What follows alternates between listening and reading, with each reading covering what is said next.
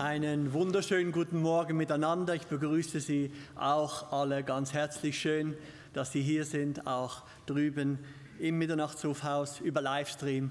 Ganz herzlich willkommen zu dieser Botschaft Gottes Werkzeugkiste. Ich möchte auch noch vor dem Einstieg ein Gebet sprechen. Treuer Gott und Vater, wir danken dir von ganzem Herzen, dass du selber uns dein Wort gegeben hast, dass du selber dein Wort auch lebendig machst durch deinen Heiligen Geist an unseren Herzen und zwar genauso, wie es jeder nötig hat. So bitten wir dich, öffne uns die Augen, dass wir sehen, die Wunder in deinem Gesetz gibt. Gnade zum Hören, aber auch Gnade zum Reden. Alles zur Ehre deines wunderbaren Jesus-Namens. Amen. Das Zusammenspiel der Gaben und das Konfliktpotenzial, wie wir es jetzt gerade in der Schriftlesung von Hans-Jörg gehört haben, 1. Korinther 12, hat jemand einmal wie folgt beschrieben. Der Streit in der Werkzeugkiste. Einst war Unfrieden in einer Werkstatt. Herr Bohrer, ein tiefer Forscher, meinte, Bruder Hobel tue durchaus nur oberflächliche Arbeit.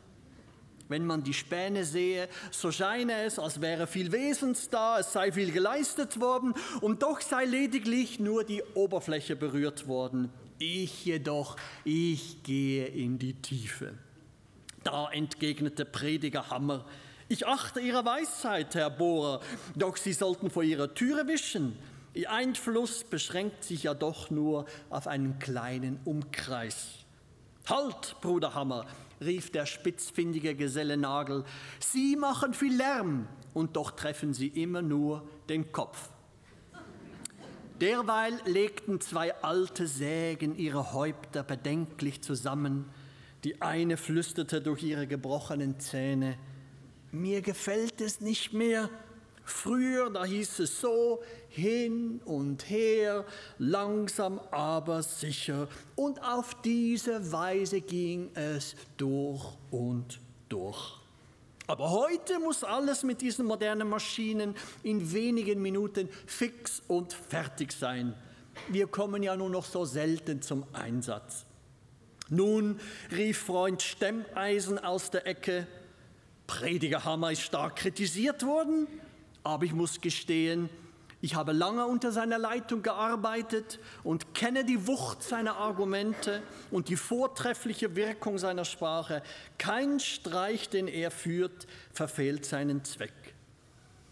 Ein zufällig anwesendes Hufeisen mischte sich ein und meinte, auch ich anerkenne Hammers Gewalt an, aber ungleich mehr habe ich durch unseren Prediger Baseball gehalten.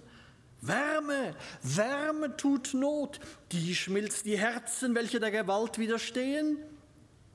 Freund Hufeisen beendete seinen Einwurf mit dem Auswurf. Oh, wo wäre ich, wenn Prediger Blasebalg nicht durch seinen Hauch das Feuer angefacht hätte, das mich so herrlich durchglüht hat.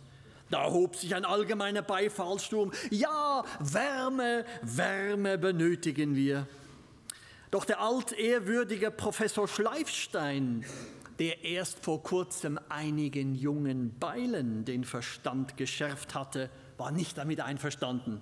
Wärme, meine Herren, genügt nicht. Zu tüchtiger Arbeit reicht Wärme und Inbrunst nicht aus. Wenn ein Werkzeug etwas Rechtes ausrichten soll, dann braucht es dazu Schärfe, feine Bildung. Das war nun aber wieder dem ungebildeten Schraubstock zu viel.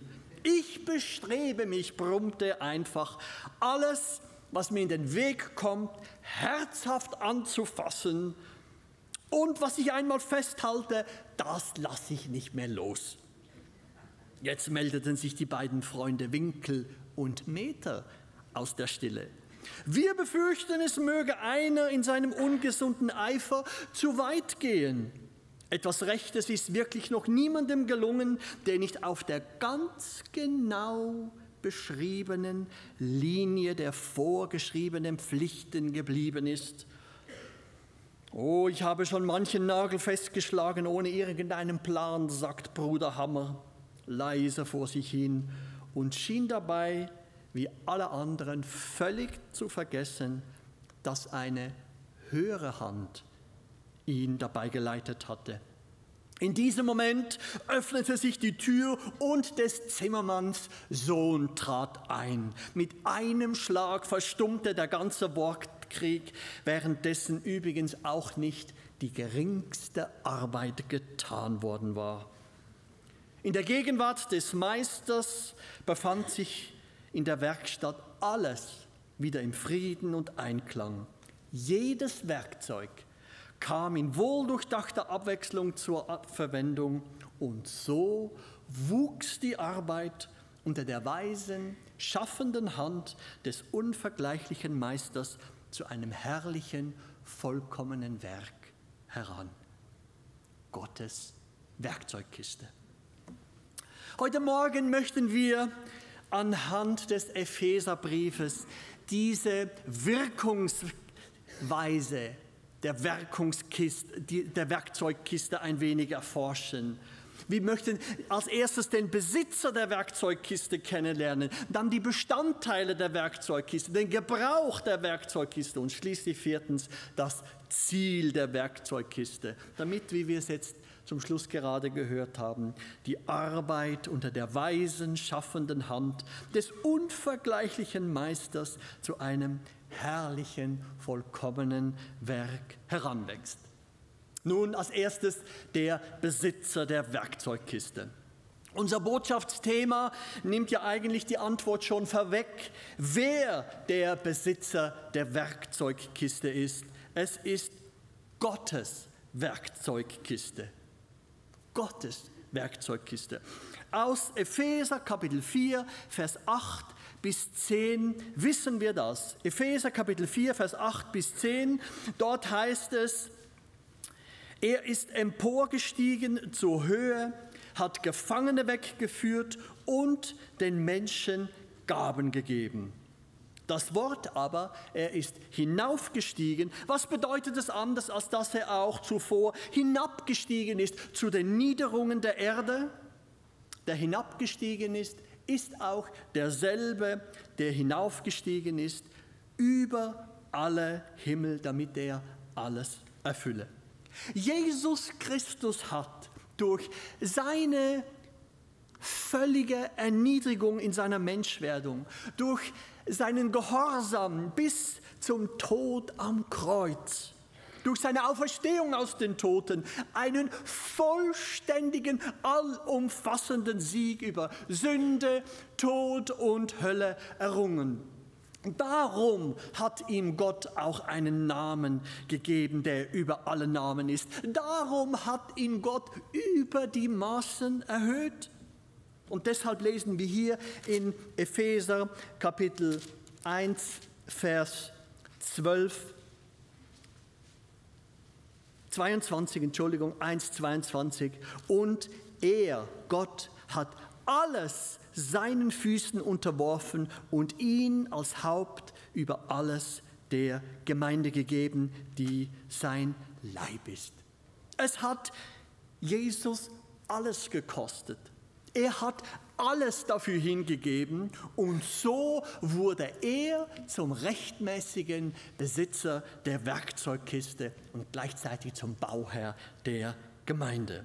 Das führt uns zum zweiten Punkt, die Bestandteile der Werkzeugkiste. Hier geht es um Menschen, die erkannt haben, dass Jesus sie so unendlich geliebt hat und für sie so unfassbar viel getan hat und sie durch ihn so unbegrenzt gesegnet worden sind, dass sie sich ihm völlig hingeben, ihm nachfolgen und dienen und ihm ebenfalls alles geben ja, mit Christus lebendig gemacht, aus Gnaden errettet, erlöst durch sein Blut, versiegelt durch den Heiligen Geist. Das macht ein wiedergeborenes Kind Gottes aus.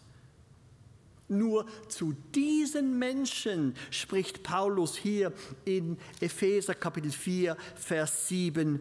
Jedem Einzelnen von uns aber ist die Gnade gegeben nach dem Maß der Gabe des Christus.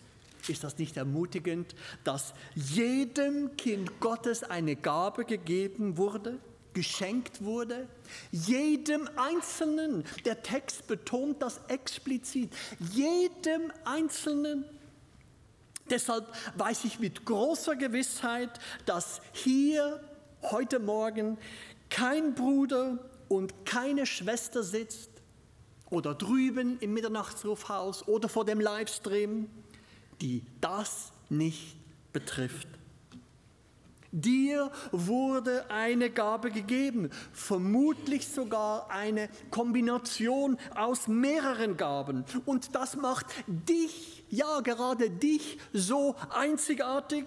Du nimmst einen besonderen Platz ein und erfüllst eine einzigartige Funktion in Gottes Werkzeugkiste. Ich spreche nicht zu denen, die meinen, etwas Besonderes zu sein die wissen eh alles besser und nehmen meistens wenig bis gar nichts an. Nein, ich spreche zu denen, die treu und demütig dem Herrn mit ihrer Begabung dienen und ich spreche zu jenen, die sich vielleicht ihrer Begabung gar nicht bewusst sind. Nun, von wem erhalten wir die Gaben? In den Lehrbriefen des Neuen Testaments gibt es vier Stellen, in denen wir Informationen über die Gaben erhalten. Aber nirgends finden wir eine Definition oder Beschreibung der Gaben. Nirgends. Diese erkennen wir nur anhand ihrer Ausübung, anhand ihres Gebrauchs und anhand ihrer Auswirkungen. Zum Beispiel sehen wir das sehr deutlich in der Apostelgeschichte. Die vier Stellen, äh, die man sich übrigens sehr einfach merken kann, sind Römer Kapitel 12, 1. Korinther 12, das ist diese Stelle, die Hans-Jörg vorher gelesen hat, Epheser 4 und 1. Petrus 4. Also ganz einfach, Römer 12, 1. Korinther 12, Epheser 4 und 1. Petrus 4. Was also sagen diese Bibelstellen über den Ursprung der Gaben?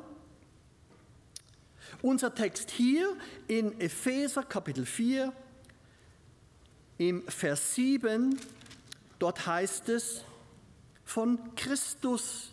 Jedem Einzelnen von uns aber ist die Gnade gegeben nach dem Maß der Gabe des Christus. Also, es ist Jesus, der Gaben gibt. In Römer Kapitel 12, Vers 3 am Schluss, Römer Kapitel 12, Vers 3, am Schluss des, äh, dieses langen Verses, wird aber die Rolle des Vaters betont.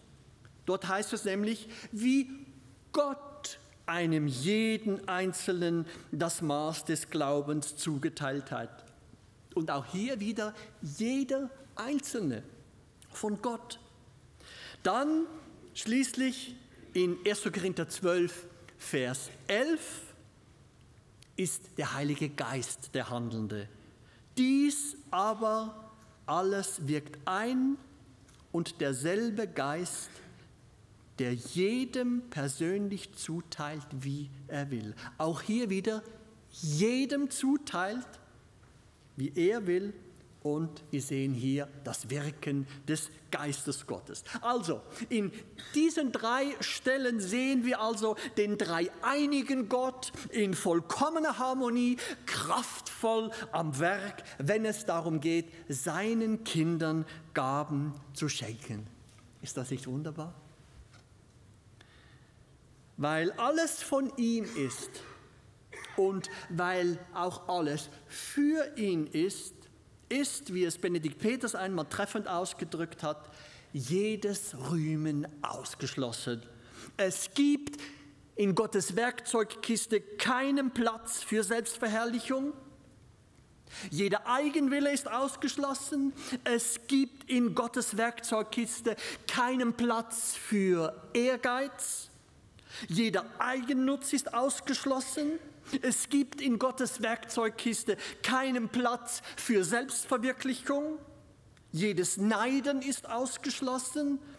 Es gibt keinen Platz in Gottes Werkzeugkiste für Minderwertigkeit.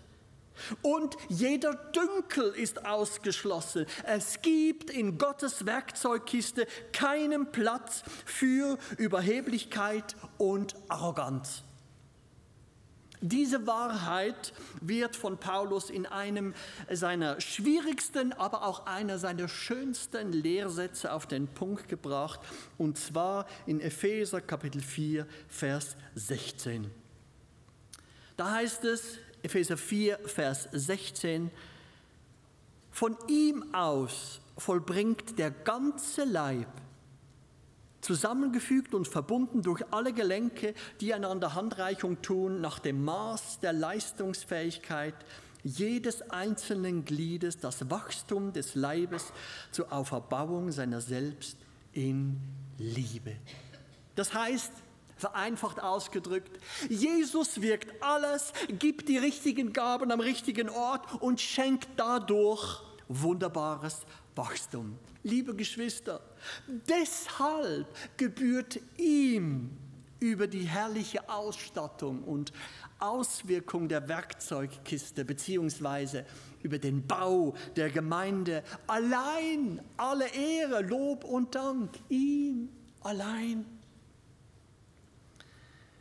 Nun haben wir aber alle eine Verantwortung, weil wir etwas bekommen haben. Was machen wir mit dem Bekommenen, mit dem Geschenk?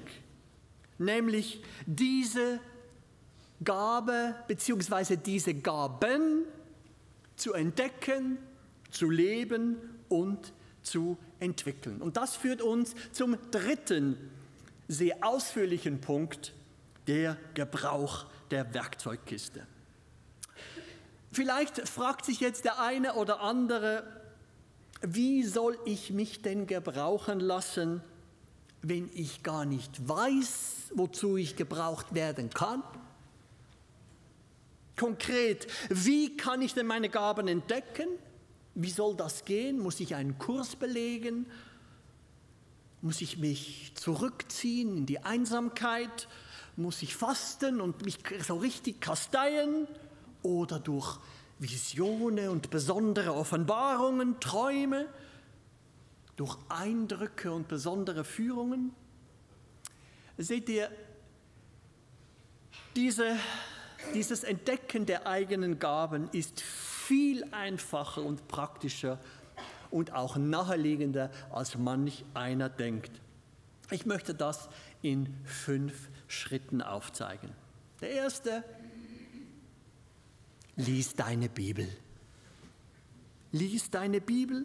Dadurch entdeckst du, dass es interessanterweise keine einzige Aufforderung gibt, unsere Gabe bzw. unseren Platz in Gottes Werkzeugkiste zu entdecken und dass es auch keine Dienstvoraussetzung ist, seine Gabe zu kennen.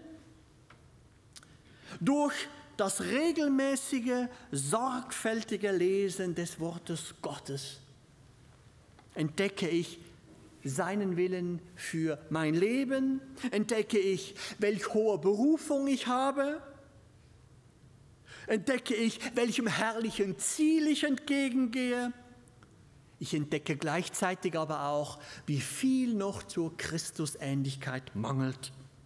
Und selbstverständlich entdecke ich auch durch das intensive Lesen und Studieren dieser vier genannten Gabenstellen Römer 12, 1. Korinther 12, Epheser 4 und 1. Petrus 4, was Gott mir grundsätzlich über die Gaben mitteilen will.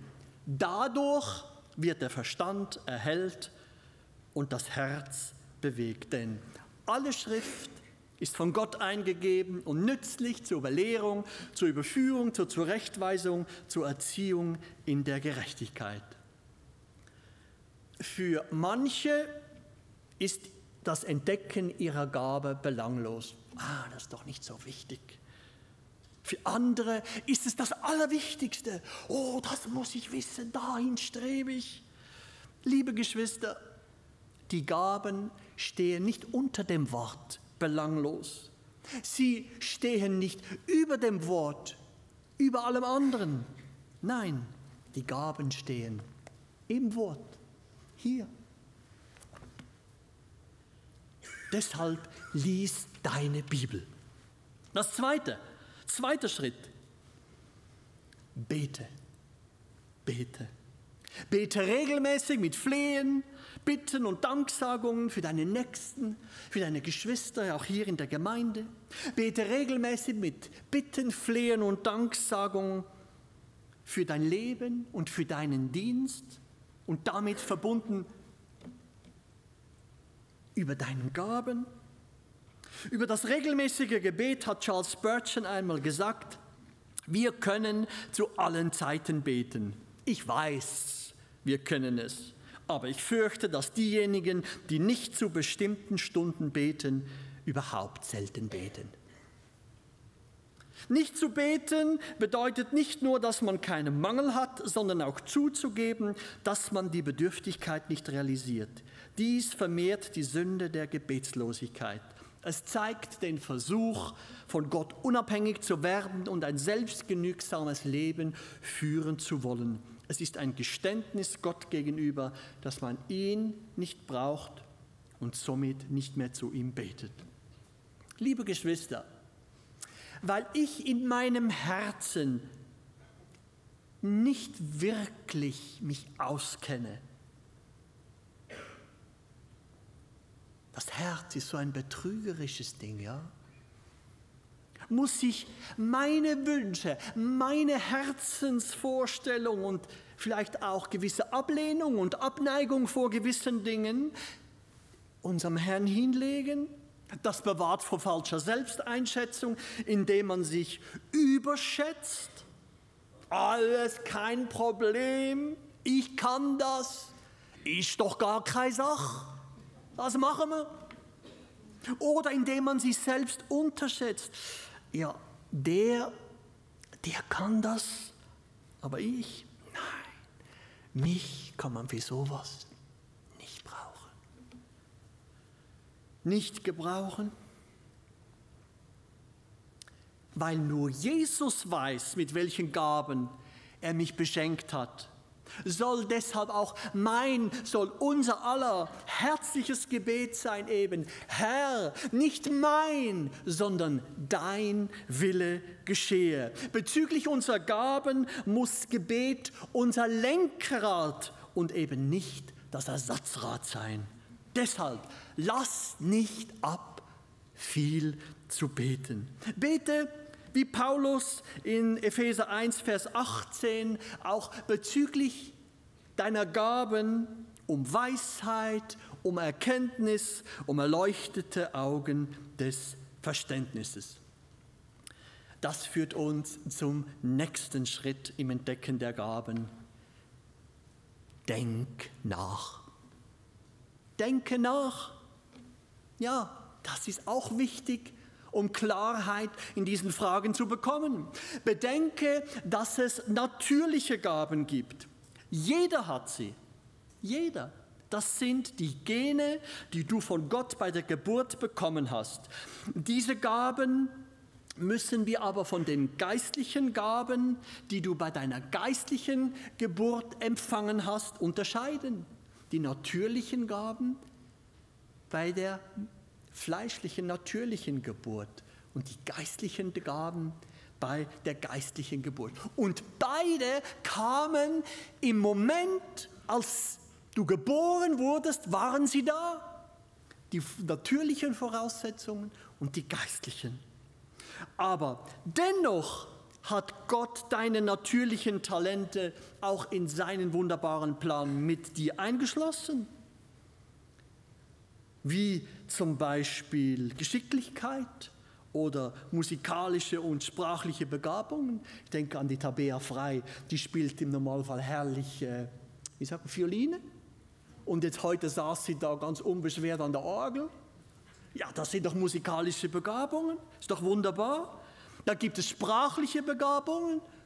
Unsere Übersetzer hinter den Kulissen, die übersetzen diese Botschaft in Spanisch oder auf Englisch.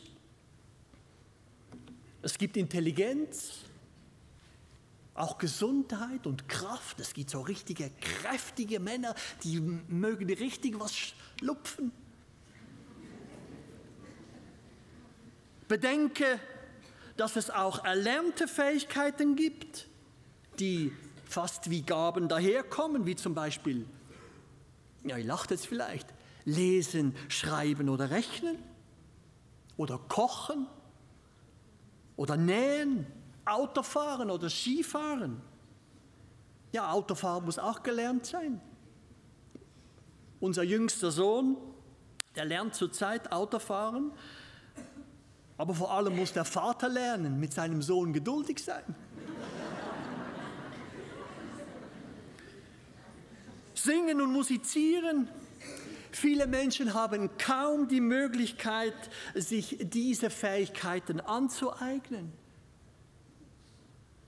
Aber hier in der Schweiz, ihr habt sie. Denke darüber nach, was dir Gott allein schon damit alles Wunderbares geschenkt hat. Denn damit hast du auch schon eine Frage auf die unausgesprochene Antwort, was kann ich überhaupt? Ja, du kannst sehr viel. Du kannst bereits sehr viel. Und dann denk darüber nach, was mache ich gern? Das kann ein weiterer Hinweis auf deine Gaben sein. Liebe Freunde, nichts ist verkehrter als zu denken, dass Gott dir Gaben und einen Dienst schenkt, bei dem du unzufrieden und unglücklich bist. Märtyrer, oh. Ich sage es jetzt einmal ein wenig grob. Gott ist kein Tyrann und ein Christ kein Masochist. Für Jesus war es das Größte und Beglückendste, den Willen des Vaters zu tun, obwohl ihn das letztendlich ans Kreuz brachte, aber das ist ein anderer Aspekt. Er sagt in Johannes 4, Vers 34, Johannes 4, 34, meine Speise ist die, dass ich den Willen dessen tue, der mich gesandt hat und sein Werk vollbringe. Seine Speise war es, den Willen Gottes zu tun. Regt sich irgendjemand von euch auf, wenn es was zu essen gibt? Ja. Nein, das macht doch Freude, wenn es was Leckeres zu essen gibt, oder? Und seht ihr, diese Freude, sagt Jesus in diesem Zusammenhang mit dem Tun des Willen Gottes, meine Speise ist die, dass ich den Willen dessen tue, das war wie in Freude. Deshalb denke nach, also nicht übers Essen, sondern über deine natürlichen und erlernten Fähigkeiten und was dir Freude macht.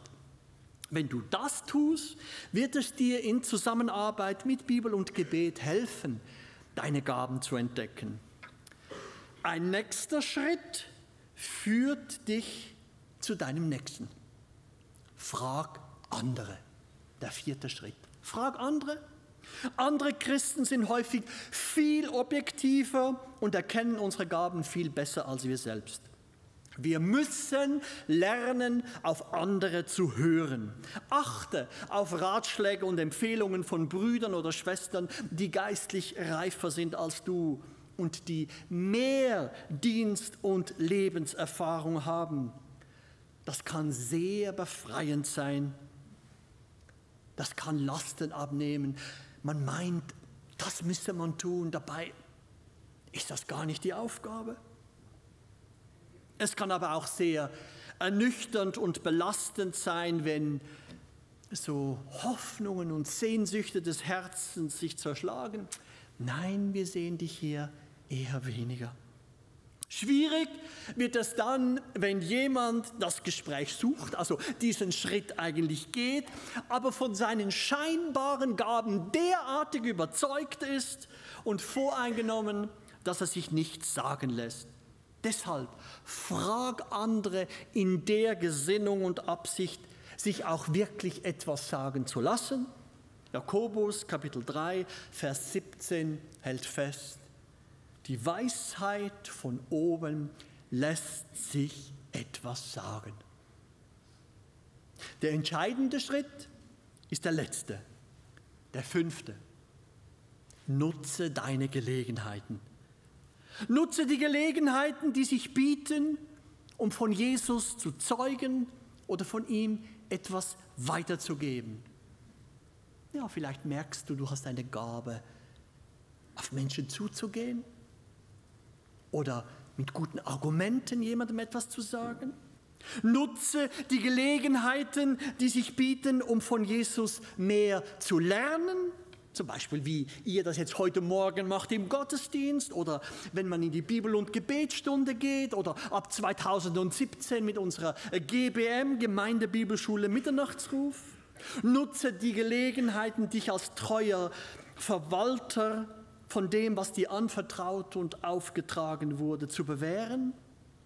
Lass dich auch nicht von Schwierigkeiten und Misserfolgen entmutigen. Geh mutig und entschlossen vorwärts und wage vielleicht auch mal ein etwas Neues, wenn sich die Gelegenheit dazu bietet.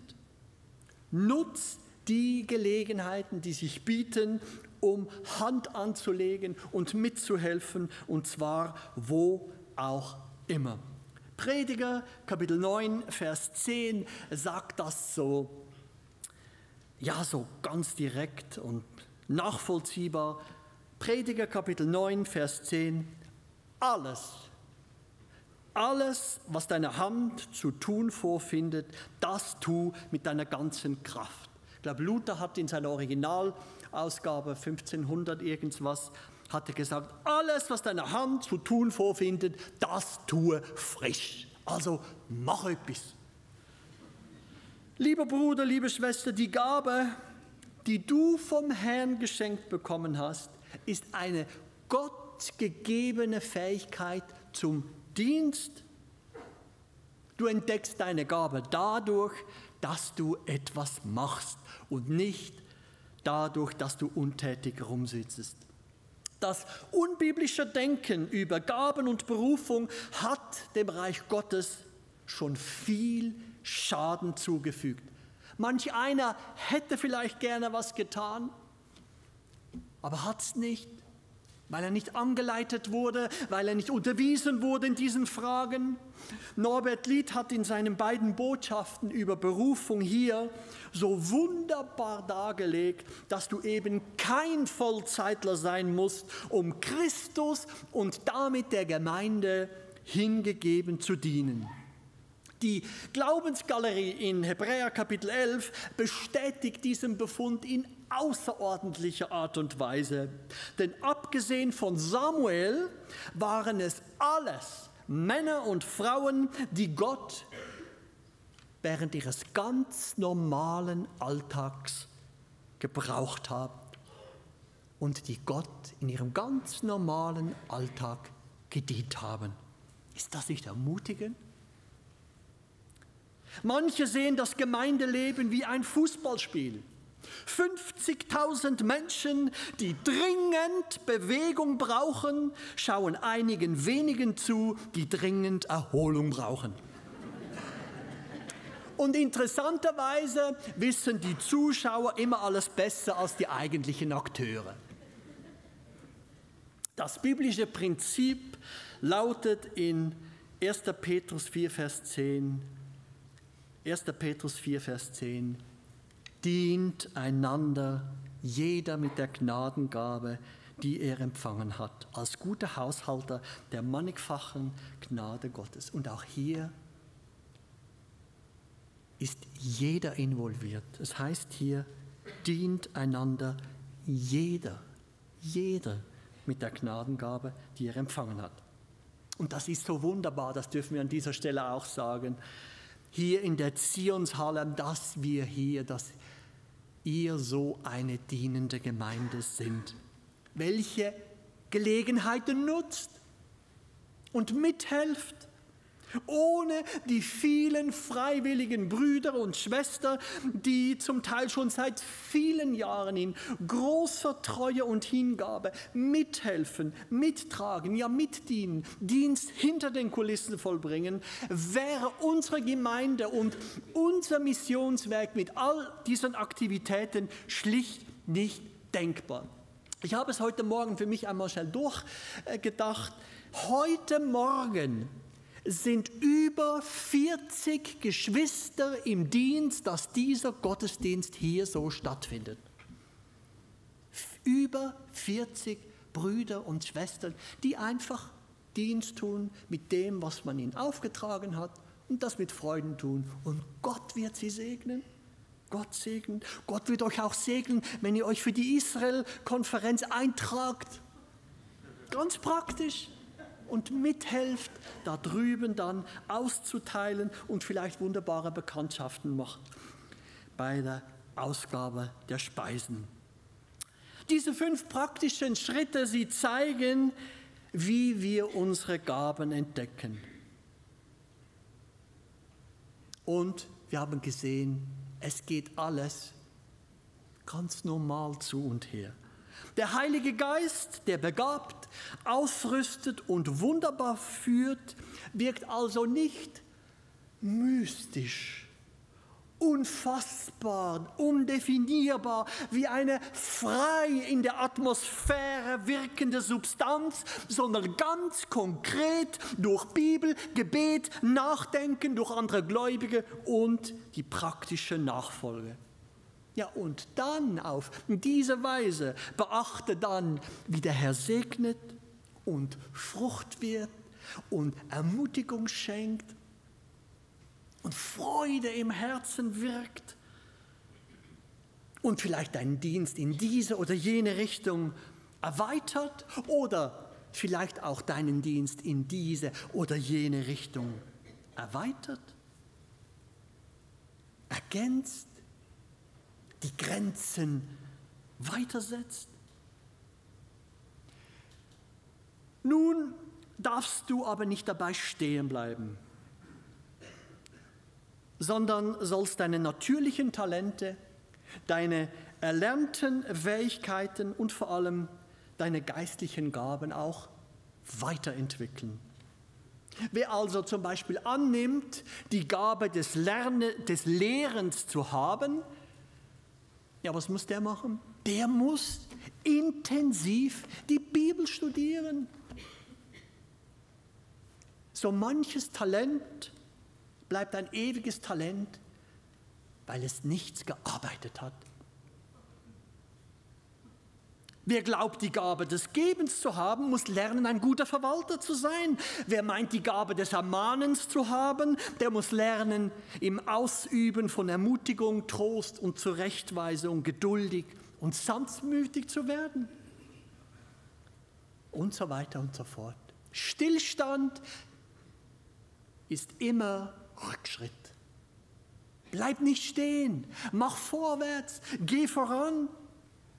Beachten wir schließlich, dass die Gaben niemals für uns selber gedacht sind, niemals zum Eigennutz, zur Selbsterbauung gegeben wurden, sondern immer für den gemeinsamen Nutzen, zur Auferbauung des ganzen Leibes. Und damit sind wir beim vierten und letzten Hauptpunkt heute Morgen, das Ziel der Werkzeugkiste.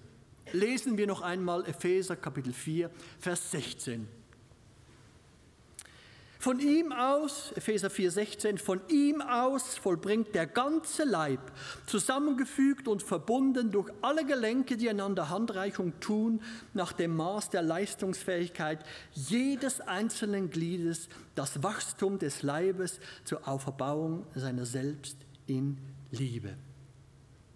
Jesus Christus ist das Haupt der Ursprung. Von ihm, sagt der Text, von ihm aus vollbringt der ganze Leib das Wachstum.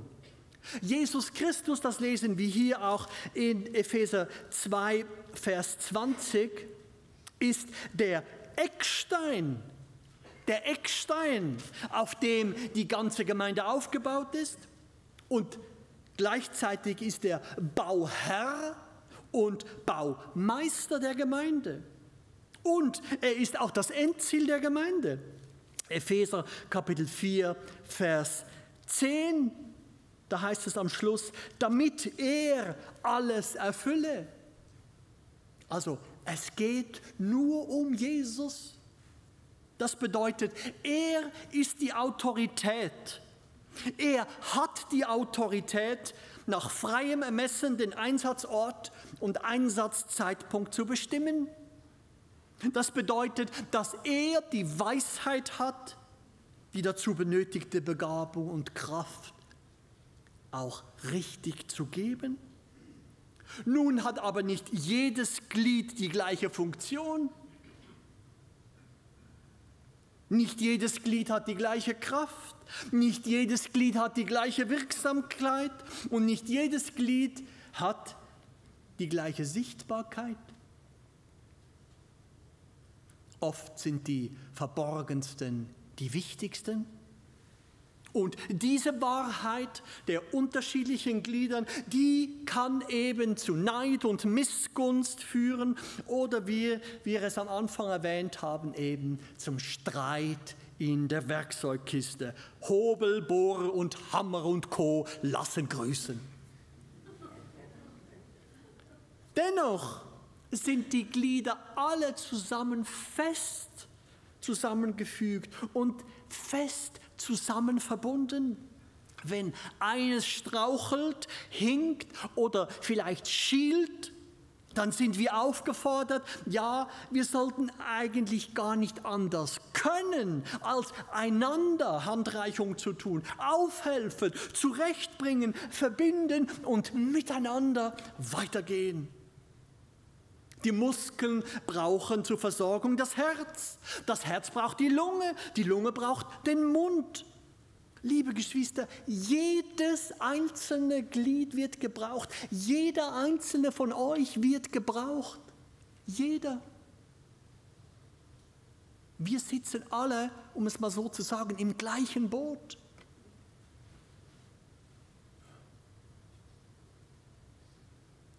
Dabei muss nun kein Glied mehr tun, als nur die zugewiesene Aufgabe erfüllen. Aber auch nicht weniger. Meine Hand ist kein Fuß. Sie kann und muss deshalb auch nicht dasselbe leisten, was der Fuß leistet. Niemand wird von unserem treuen Herrn über oder unterfordert. Niemand, sondern jeder wird ausgerüstet mit der genau richtigen Gabe, mit dem genau richtigen Maß an Leistungsfähigkeit. Im griechischen Text steht hier Energie. Du hast genau die richtige Kraft und Energie für den Dienst, den Gott dir gegeben hat. Deshalb verschleiß dich nicht im falschen Dienst. In dem Dienst, den Gott dir gibt, hast du genau die richtige Kraft. Letztendlich, liebe Geschwister, geht es eben nicht um individuelle Schönheit, Kraft, Intelligenz, Funktionalität oder Kreativität im Dienst, sondern um vollständige Unterordnung unter das Haupt um Integration, ich sag's mal neudeutsch, in seinen göttlichen Masterplan. Nicht ich, er. Und so wie beim menschlichen Körper alles vom Gehirn ausgeht, ist es auch beim geistlichen Körper der Gemeinde seinem Leib geht alles von Haupt aus, von Christus. Seht ihr, wenn mein kleiner Finger beginnt, selbstständig hier zu handeln und sich nicht mehr vom Gehirn steuern lässt, dann ist er krank. Wenn die Verbindung nicht wiederhergestellt wird, erlahmt und verkrippelt er, steht dann irgendwie einfach weg. Und wenn die Blutzufuhr unterbrochen ist, dann stirbt er. Geistlich angewandt sind das die Phasen der Degeneration der Gemeinde Jesu. Lassen wir uns deshalb immer wieder neu auf Jesus ausrichten und von ihm aus leben. Beachten wir, wie Paulus seine wunderbare Anleitung zum Gemeindebau zusammenfasst. Hier am Schluss von unserem Vers, das Wachstum des Leibes zur Auferbauung seiner selbst in Liebe. All dies soll also in Liebe geschehen. Die Liebe ist das optimale Wachstumsklima. Herrlich. Die Liebe. Und seht ihr, so wie das Blut unseren natürlichen Leib erhält, ist schließlich auch das Blut Jesu Christi die alles durchdringende, versorgende, wiederherstellende und reinigende Lebenssubstanz des geistlichen Leibes. Wie heißt es in Epheser Kapitel 1, Vers 7? In ihm haben wir die Erlösung durch sein Blut, die Vergebung der Übertretungen nach dem Reichtum seiner Gnade. Vergebung. Das macht das Zusammenspiel einfacher. Das macht es unkompliziert und total befreiend. Wenn er mir so viel vergeben hat, nach dem Reichtum seiner Gnade, dann kann ich dem Hammer und dem Hobel, die nicht so sind, wie ich säge, auch verzeihen. Ja. Jesus und Jesus allein. Erst wie wir das am Anfang gehört haben. Erst in der Gegenwart des Meisters befand sich in der Werkstatt alles wieder in Frieden und Einklang. Jedes Werkzeug kam in wohldurchdachter Abwechslung zur Verwendung. Und so wuchs die Arbeit unter der weisen, schaffenden Hand des unvergleichlichen Meisters zu einem herrlichen, vollkommenen Werk heran. Ich komme zum Schluss. Entdecke deine Gabe. Lebe deine Gabe und entwickle deine Gabe. Und so vom Herrn reich beschenkt, befähigt und bevollmächtigt für den Dienst an deinem Nächsten und zu seiner Ehre. Bleibe an dem Platz in Gottes Werkzeugkiste und lass dich von ihm auf seine Art und Weise gebrauchen. Gott will dich in dieser Sommer- und Ferienzeit erfüllt mit Gaben und Liebe als sein Werkzeug gebrauchen, um andere Gläubige aufzuerbauen, um dem Leib wachsen zu lassen, in dem Verlorene gerettet werden und um ihn zu verherrlichen. Amen. Ich möchte noch ein Gebet sprechen. Treuer Gott und Vater, ich danke dir von ganzem Herzen für dein wunderbares, lebendiges Wort, das uns unterweist, auch bezüglich der Gaben. Du lässt uns nicht im Unklaren und es ist so praktisch und es ist so klar und es ist so einfach. Herr, hilf uns, darin festzuwerden, die in diesen fünf Schritten zu wachsen und diese Schritte auch zu gehen. Und danke für die wunderbare Gewissheit, für die mehrmalige Bezeugung in deinem Wort, dass du jedes deiner Kinder mit Gaben beschenkt hast. Danke, o oh Gott, dass du uns auch hilfst, diese zu erkennen, zu entwickeln, vor allem aber zu leben, zur Auferbauung des Nächsten und zur Verherrlichung deines wunderbaren Namens. Wirke das doch einfach aus Gnaden. Wir bitten, gib zum Wollen auch das Vollbringen zur Ehre deines wunderbaren Jesus-Namens. Amen.